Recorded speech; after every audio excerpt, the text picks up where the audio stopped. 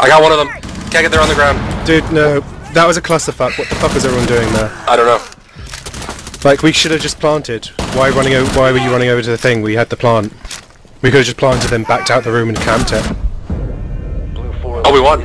4. Yeah, because he fucking destroyed them.